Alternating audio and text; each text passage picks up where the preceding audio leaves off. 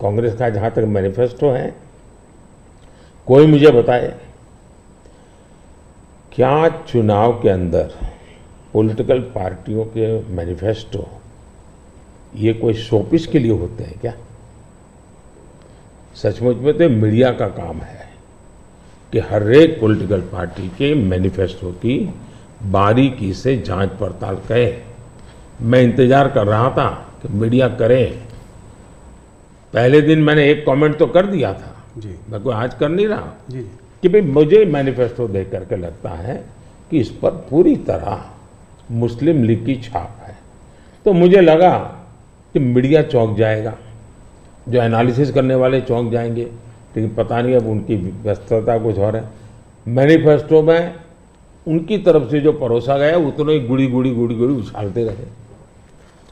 फिर मुझे लगता भी ये तो इकोसिस्टम का बड़ा मिली बगैर लगता है।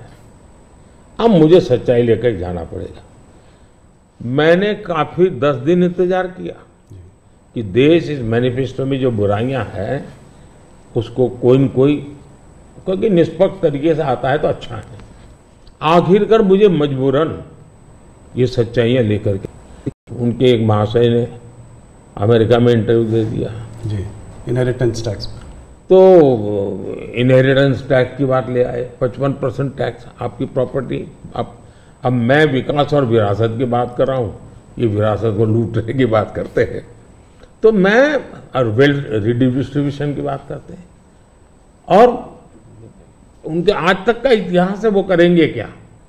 तो फिर मेरी जिम्मेवारी इट्स मेरी रिस्पॉन्सिबिलिटी है कि मैं देशवासियों को बताऊँ कि भाई ये इस दिशा में ले जा रहे हैं। अब आप तय कीजिए, जाना न जाना, जनता जनार्दन का हक है। लेकिन मेरा दायित्व बनता है कि तथ्य व आधार पर, तर्क के आधार पर, उनकी हकीकतों के आधार पर मुझे बताना चाहिए। वो मैं बता रहा हूँ।